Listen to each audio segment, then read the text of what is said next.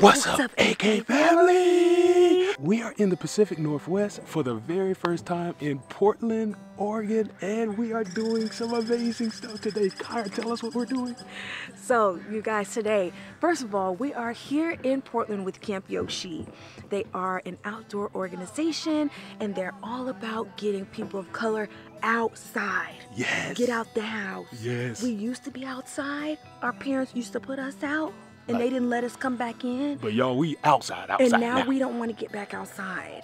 So we outside. We outside, outside. So they have a jam-packed schedule for us today. We are going to be doing so much stuff. We're super excited. But to start off, we are here at the Tillium Lake. And we're learning how to fly fish. We're gonna fly fish, you guys. This is crazy. We're about to get in the water. We're gonna get suited and booted. Yes. And we're gonna get in the water and we're gonna catch some fish. So we're gonna take you guys along the way. Let's go. All right, y'all, we are dressed. Look at Aaron. Look at Aaron. He got his boots on. we got our gear on. Guys, look. Oh my gosh. And we are about to get in the water. I feel like a tap dancer. So if you bring the rod tip forward to get this line to go out flat. Oh. Yep, exactly. Try that and just put a little bit more into it. It's called a roll cast. So you just bring that fly line tight. Ah, so then when you bring okay. it back, you tight. Got it. Oh, okay, okay. So, So bring it back just- to 10 o'clock, the rod tip. 10. Yep. There you go. And then just wait just like a second longer. Great. Oh, just a little bit longer. Yeah, longer. just a little bit. So then that line comes taut, and then when you bring it forward, She's a natural. tight Kind of that whole way. oh, no, not that's too No, no, quick. Yeah, it was just a, a little just bit longer. Yeah, you got the right idea. Yep. Boom. There you go. Oh! Let's go. Let's fly that cats. Ah! Yeah. Okay. You keep your rod tips within that, that 10 and that 2. 10 o'clock and 10 2. and 2, 10 and 2. Yeah, and just figuring out that timing and that motion, and then Got it, you. know, it becomes pretty, All right. So it's all about the patience. Yep, exactly. That's one of the reasons why I do this, because it's so different from what I do in my daily life. Having patience is, and it's super rewarding when you figure something like this out, because it is like you have to slow down. You have to pay attention to stuff that you wouldn't normally pay attention to. You have to be patient. This is crazy. So All then right. back over your shoulder slowly to two o'clock. Yep. Four to ten. You see how that, that's staying much tighter through the, Yeah. the cast? That's what you want. There you go. And you're stopping the rod tip higher now, which is why that line is staying tight, which is exactly what you want. Got you. Fly fishing. So right now we're gonna have Phil to show us the perfect cast for him. Yes, Yeah. the No, pre- expert. no pressure. No pressure. So as I was showing you guys, really it's like it's all a understanding of motion. So if you wait just that second and keep that line tight, it's really more of like a feeling and emotion that when you cast, the rod mainly does the work for you. What was fly fishing actually? Um, how was it developed as a as a as Oh, an art of fish? you know, I'm not a historian, Okay. but I will say that like from a, a United States perspective, um, from what I know, it started in the mountains of Pennsylvania. So Mm-hmm. a lot of people that were kind of trout fishing and stuff on those streams were fishing with like bamboo rods and they were fishing with Ah. silk lines, stuff that was, you know, I mean, this was 100 years ago. Sure. There's so many ways to be happy. You can do whatever you like.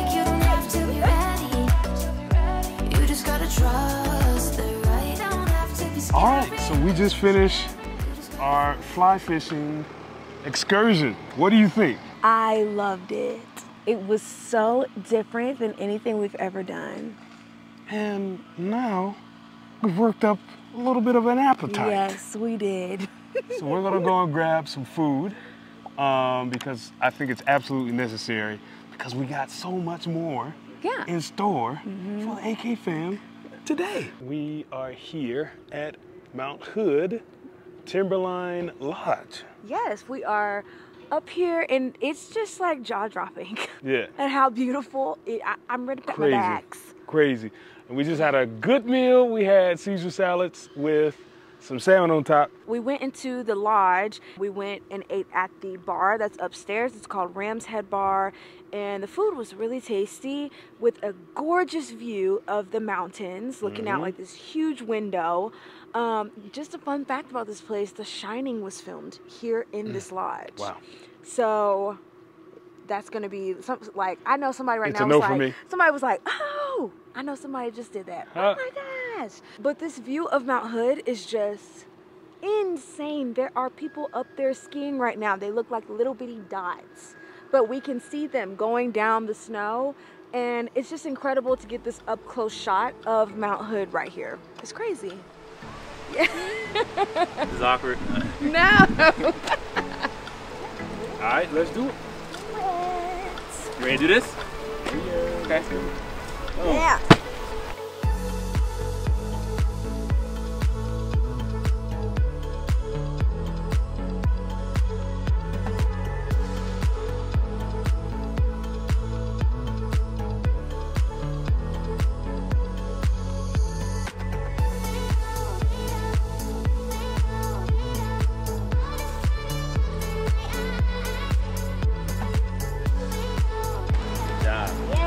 All right, last thing we gotta do. We out here, campers, Setting up tents and things. setting the tent up. Stop playing. First of all, the tent is so cute and little. AK family, would y'all come camping with us? Is y'all coming camping Yeah, with us? Yeah, y'all want to go on a camping trip with us? This rock kind of big. Here, I'll give you this one. Yeah, I'll take this one. Thank you. Okay, I wouldn't try to. Oh, it's all good. We equal opportunity camping company, man. Everyone, you know, gets Gotta knock down some stakes. I got a baby rock. I got an adult rock. Wow. We are an equal opportunity camping company. Everyone gets the same rock. If not, it's all good. Sorry about that. I don't have the same rock. Never seen Kara in the outdoors. Y'all better recognize I does this. You does this? Yeah, First of all, let's let's, let's go back. Go back a little bit. that's on period. Huh? You do this. I does this. No, but seriously. Y'all put hooked on phonics in the comments. Hooked on phonics. What did you say, Aaron? Hooked on phonics. That's Thank you. good. Um, seriously though, growing up, like, I used to stay camping. My dad took us camping so often. So honestly, it is really good to be back out here in nature because it's been a while. And for us to be in Oregon, in Portland, camping like this, it's taking it up to another level. Because when we would camp, we would just go to the lake. If you're familiar with Huntsville, Lake Guntersville, which is like, it's nice, but it's not this, okay? So, we out here. Purr. So now we are putting out our beds into our tent. And you guys look at this. This is what you get when you come with Camp Yoshi. You get a memory foam pad. Come on. And it's a nice thick memory foam pad too. Come on. So you put this down, you are not sleeping on the ground, you are sleeping in comfort. So I'm gonna roll out this Easy. Mm-hmm. sleeping bag. And that. And you look at this and you tell me That, That y'all wouldn't have good sleep in here. Tell me that this does not look like a good setup. Come on now. I'm telling you. Looks looks pretty comfy to me. We got a pillow and everything. I'm telling you, this is so comfortable. I can sleep well like this. Mm-hmm. Should I lay out straight? Like two cars can fit in here. On her, on her side, Yep. cause she's so tiny. Camp Yoshi is where you get the memory foam. I love it. Good night, everyone. Ha, bye bye, See you in the next video. bye bye. Bye. Are you, are those your shoes in my living habitat? Stop. All right, y'all. We just finished some uh, some work stuff. Um, yeah. and y'all see it in a little bit. Okay, y'all see it in a little bit. But uh, Rashad, which is the co-founder of Camp Yoshi, uh, and we'll introduce you guys to him. He and our representative uh, that's working with us from uh, the work we're doing said they have a surprise for us. Yeah. What is it? So we don't know what the surprise is. So like we're, we're in the dark. So no no no no you're good you're good. Nick let Rashad come let Say, say hello to the vlog. What's up? This is my homie Aaron. We're just hanging out. Great time. This is my man Rashad. He is the co-founder of Camp Yoshi. Uh, you guys definitely need to check them out. Um, we will leave their tag information uh, in the description, and we will also leave their tag as a Yeah, on the screen, of Right, course. somewhere. Morale is high. somewhere in here. Good day. Um, Good so times? yeah, we Yeah, just we yeah. we're, we're we're we're trying to see what the surprise is that you guys have for us. I'm not gonna say anything. Well, let's just. I'll just tell you, it's one of the icons of Oregon. What? Our waterfalls. I'll leave it at that. No way. Yeah, I'll leave it at that. Yeah, our, our waterfall chasing is a big thing in Oregon. I'm And where is pretty special. So Waterfalls. Yes. I think a great reward for y'all's work. I appreciate it. So after we set up camp, we headed to Columbia Gorge for our hike. Fun fact, that is the Columbia River and on the other side is Washington. I thought that was cool. We didn't know where we were going to be hiking, so to find out that we were hiking to one of Oregon's most beautiful waterfalls and in America's largest national scenic area was a really great surprise. We seriously cannot believe how beautiful Oregon is. There was truly beauty around every corner. It was insane. We went closer to sunset, which was great because it wasn't too hot outside. So we finished our hike, and Latourell Falls was our reward. I mean, look at this, guys. It was so worth the journey. What a great way to end our day of adventure. It is our last morning here in Portland, mm-hmm. and I'm not ready to leave. I'm not going. I'm not leaving. We're not leaving. I'm not. I'm not leaving. We're not leaving. What movie is that from? yeah, you guys comment down below and say what movie that's from.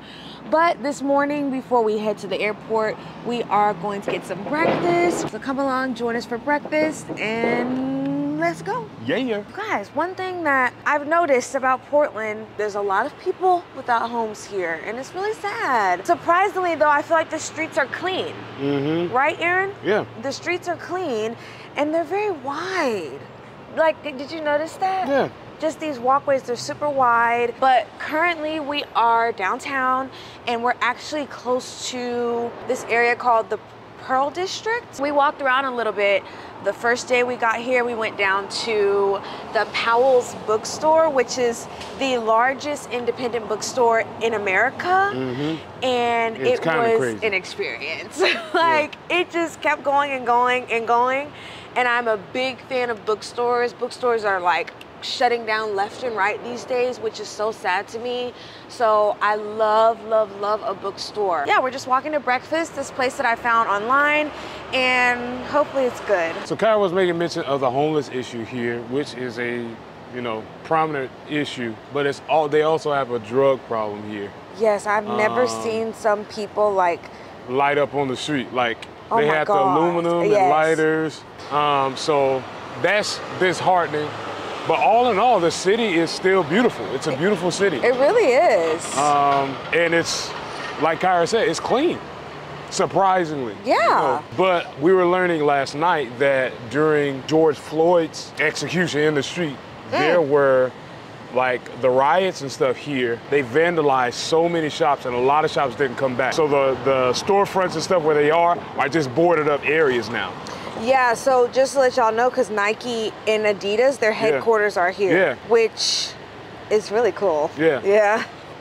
Fun fact about Oregon, we learned that the US Olympic runners, they practice here in Oregon. Portland and Oregon seems to be a very active city. Yeah, absolutely. Very active. All Absolutely. the active wear companies, from accessories to clothing, Mm-hmm.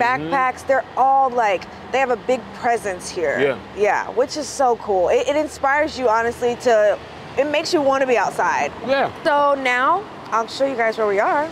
Like, look at this. This is really nice. We are on what's the name of the street? Yamhill Street and Fourth Ave. Yeah. So look at this. We got a Gucci store, Louis Vuitton over here. I just figured out where we are because this sign right here. We are in the Pioneer District. Mhm. So I am assuming that every district here in downtown has a name, which is cool. So yeah, look at this. Like look at how the streets are so the walkways are really wide. You got a is this an Apple store? Yeah. Look at that. Yeah. Ton store that's Dang.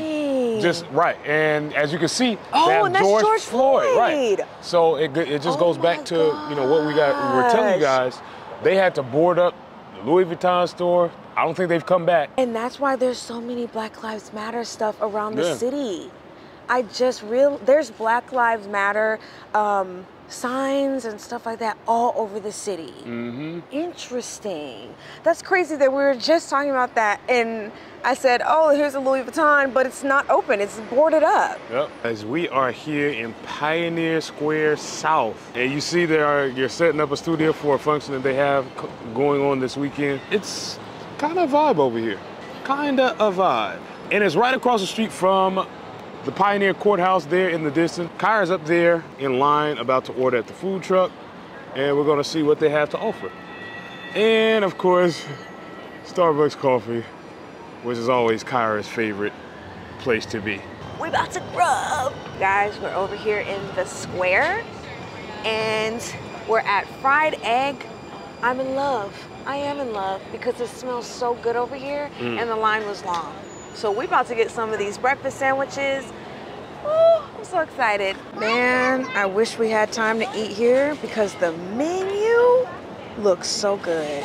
Rolling fresh, the sushi burrito of the Northwest. Oh my gosh. Hello.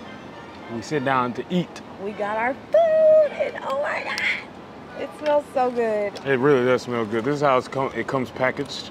Yes. It's like a sandwich in a little blanket. I got the huevo mutilation. That was the name of it, and I'll have what's included in it on the screen. I got the Yoko Oh no! Ono. Yes, Yoko Ono is what I got. While we were waiting for the food, the sun has just Mm. blossomed. It's a beautiful day. The weather here has been Great. fantastic. We Blue skies, clear skies. Beautiful weather. It's time to eat though. Cheers. hmm That's a good sandwich. As Keith Lee would say, for sure, you're right on. Oh, 10. This is a 10 out of 10. And to top it off, we got Starbucks. I just got a pink drink. A pink drink is Aaron's go-to drink Mhm. at Starbucks. I get all kinds of concoctions at Starbucks. It just depends on what I'm in the mood for that day. It's a good doggone sandwich. I tell you what, It's crispy, crackety, and it's hot.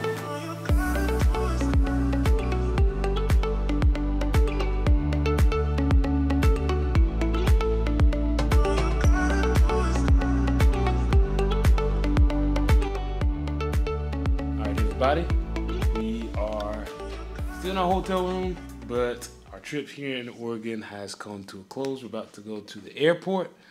Um, and we've had a great time here in Oregon. It is our it was our first trip to Pacific Northwest yes. and we had a blast. It was a jam-packed day yesterday. all good things must come to an end. Um, this was literally the shortest trip ever. So we really flew in and we flying out. So this was just like a teaser of the mm-hmm. Pacific Northwest, but we saw a lot yesterday and man, we want to see so much more. Yep. So comment down below if you're from here, anywhere, whether you're from Oregon or the Pacific Northwest, comment down below. Tell us the most amazing places here in this region that are must see places, like nature wise. And or just anything, whether it's nature or buildings, activities, let us know. We have to come back one day. We are so grateful to Camp Yoshi for having us out here in Portland. We just got a taste of Camp Yoshi and we were talking with Rashad like he's such a great guy mm-hmm. and, And he was a great host. fantastic host. He was with us all day long, driving us around, making sure we got uh, to have some very unique experiences. And so we want to come back. We want to do a full Camp Yoshi experience because this was a teaser. We want to do the whole thing, the whole thing. Yes. So one day we will come back out here. But yeah, it's about time for us to head out. We got to get to the airport so we can get back home. But thank you all so much for watching this video. We hope you enjoyed it and we'll see you in the next one. Peace. Bye.